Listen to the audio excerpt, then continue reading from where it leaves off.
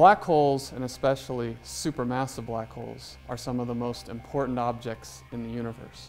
Studies have shown that especially the big ones drive the dynamics of galaxies more than just about anything else because they're both very large, sit at the centers of galaxies like gravitational anchors, and also because they fill the galaxies full of hot radiation. They've been studied a lot, and what's interesting is there have been several in the last decade that we've discovered that are much bigger than anything ever thought possible.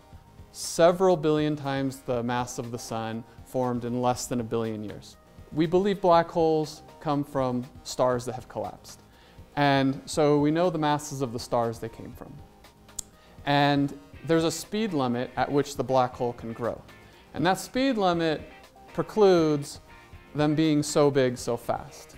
The mass of the black hole has a, a speed limit known as the Eddington limit. Stars themselves do not have the same speed limit in terms of how fast they can grow. So there was a question, could you find a place where a star might be able to grow much bigger than uh, typical stars grow? We decided to actually take this idea, make a simulation, uh, grow the star in, to the size that people think might be possible in certain configurations, and see when that star collapses to a black hole, can it actually create the types of supermassive black holes that we see in nature. What our paper shows is if you do start with this model, where you can have a special situation where a very massive star can form and then become a black hole, that we can produce the types of things that we observe in nature in many different respects.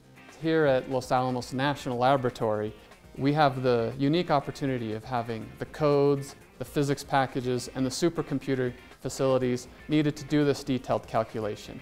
And we've seen that when you throw it all together and you take all the, the algorithms and other things that we've developed over the years here, that we can replicate some of the more interesting things that we've seen in nature driving the dynamics of the evolution of the universe.